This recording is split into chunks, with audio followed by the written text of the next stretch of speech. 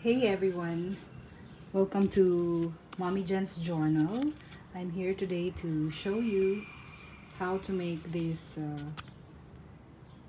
little tag reinforcement using my Crop-A-Dile. It's actually a punch with different sizes. It can also be used to to have an eyelet to attach an eyelet on your projects but today I'm going to use it as a punch. Excuse me.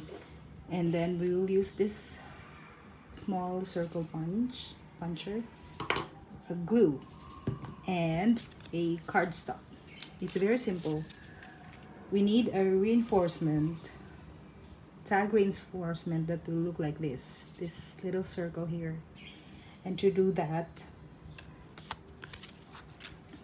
you will be needing a cardstock. It's very, very simple and very quick. You will be choosing a the bigger size punch and punch it on a cardstock. After that, center that hole in the middle of this punch and punch away. There you have it.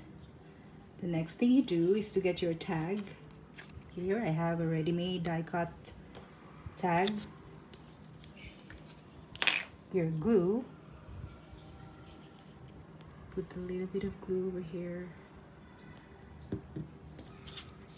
Adhere your punched circle to the tag. There you have it. My tag reinforcement. And then want to add a twine